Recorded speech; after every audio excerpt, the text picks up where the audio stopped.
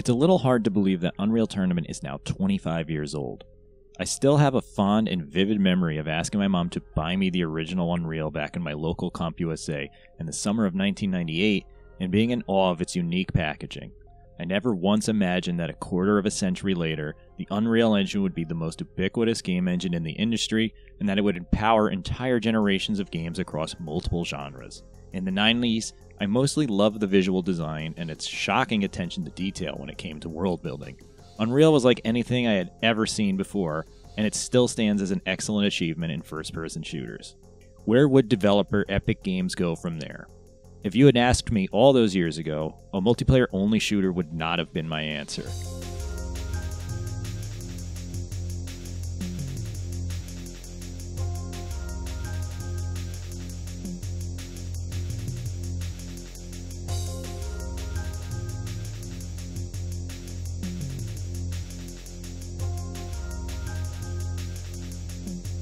Multiplayer modes for FPS titles had come into vogue thanks to the likes of Quake, GoldenEye 007, and even Turok 2 Seeds of Evil, but no one had attempted to launch a game without a traditional campaign mode, excluding MMOs as they were something entirely different in the 90s.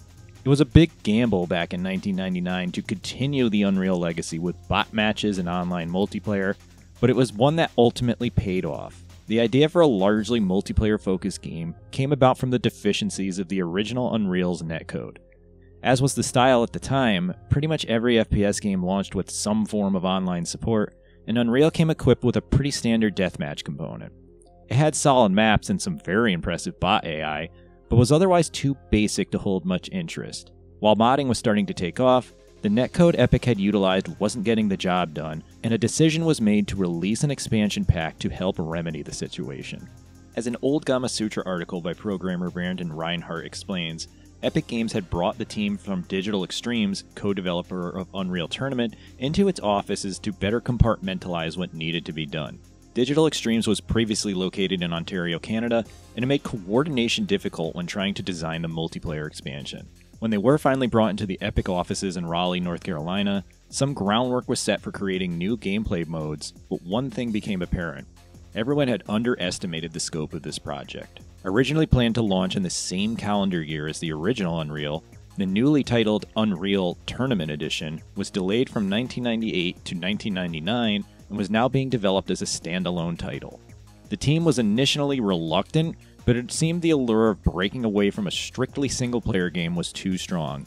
It didn't hurt that Unreal was highly moddable out of the gate, which would allow fans to poke and prod at Unreal Tournament to their heart's content. In fact, the UI that Unreal Tournament launched with was a mod developed by Jack Porter for the original Unreal. Porter would later be hired by Epic Games.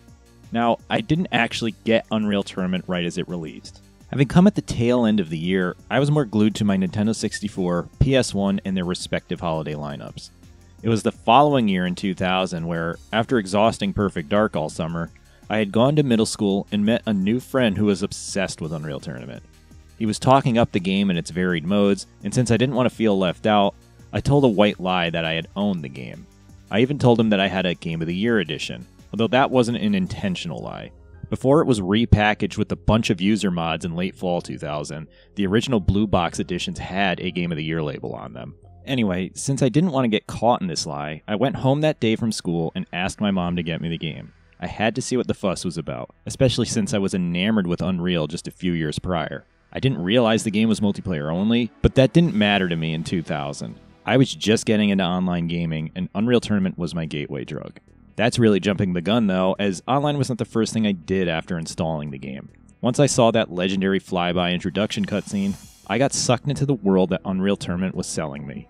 I wanted to know all of the lore and explore its deepest secrets as if my life depended on it. The first map I played was The Pit of Agony, a rather compact arena with some ramps, practically the game's entire arsenal, and a hidden redeemer on a ledge, as well as stained glass windows painted with a nude lady. I don't bring that up to have a laugh, but to explain how much of an impression that left on 12 year old me. I had never seen anything like that in gaming before, and mixed with the rather relaxing techno music that stage has, it felt as if I had opened a portal into another dimension. This was the future. From there, my memory is actually a little fuzzy on how I managed to go down the Unreal Tournament rabbit hole. Through online matches, I wound up making a new friend, and he has remained one of my closest friends for the last 24 years. We would browse the internet through mods while chatting on ICQ Messenger, and I suppose through that, I started to dig into the modding subculture that evolved within the Unreal community.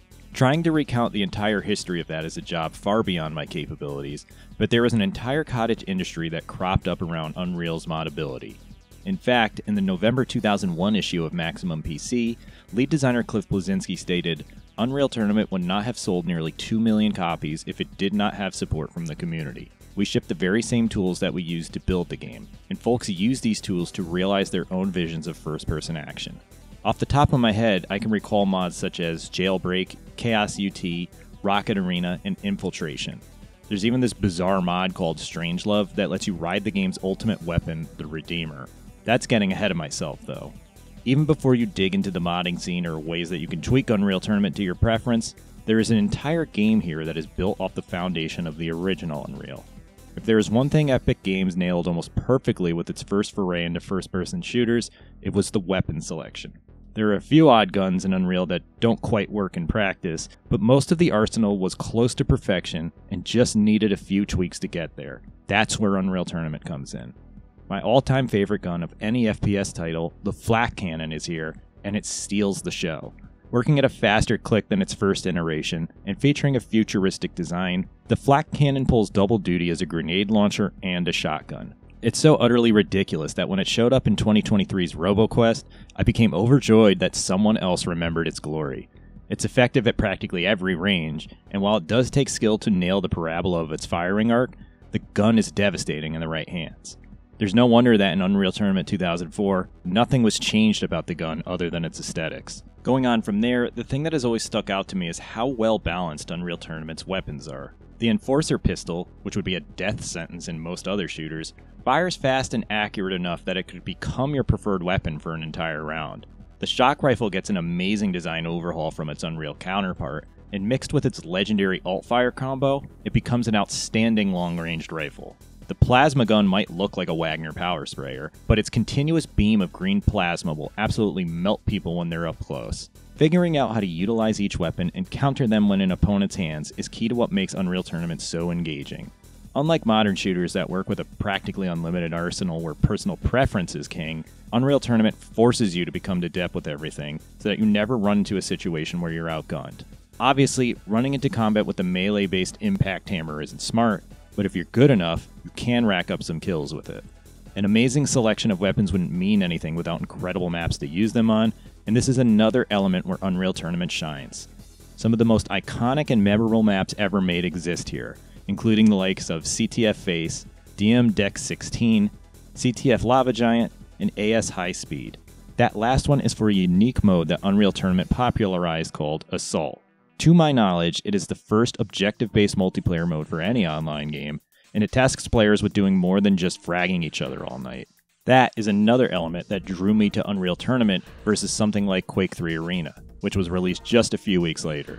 UT launched with six game modes. These included now genre staples Deathmatch, Team Deathmatch, and Capture the Flag.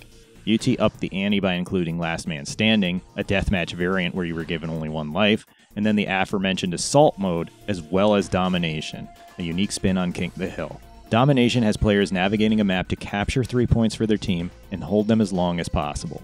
Points are awarded for the number of points you have at any one time. With this wide selection of modes and an incredibly varied map set, Unreal Tournament was unparalleled in the PC space. Deathmatch is great and all, but when you get bored of that, it's exciting that you can jump to something else without leaving the game.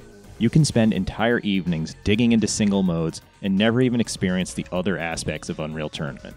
To this day, there is still such a tremendous amount of content here, even if every map isn't to the same quality.